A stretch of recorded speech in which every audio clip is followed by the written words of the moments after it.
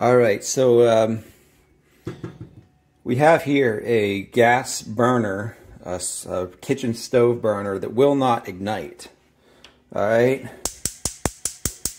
so it's not lighting, it's not lighting, it's not like you can hear that it's sparking, and you can hear that the other the other burners will ignite, don't have any issues.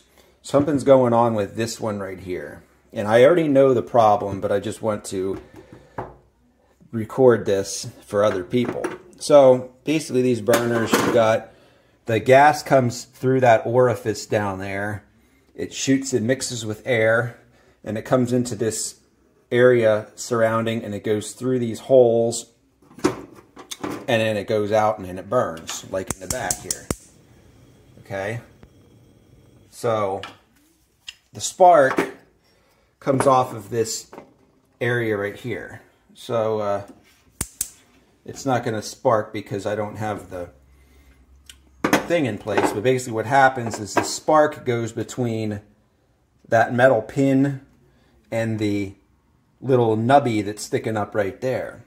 So you get an electric spark from uh, from there. So you can see the spark right there. So in order for the gas to uh, the way that these burners are designed, I don't really like this design, but the way they did it is you could see there's a hole right here.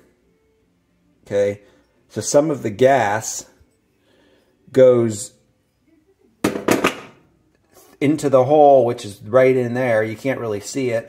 It goes across and it goes into this cavity here and it hits the spark, it ignites, and it flashes back into the rest of the burner you know, around the side.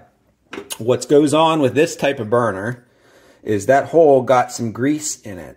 So I was frying something or cooking something with a lot of oil, and um, and that hole, as you can see, is plugged up with oil or grease. So we're going to clean that out real quick. Okay, so I've taken some soap and water and a wire, and I stuck it in there and cleaned that hole out.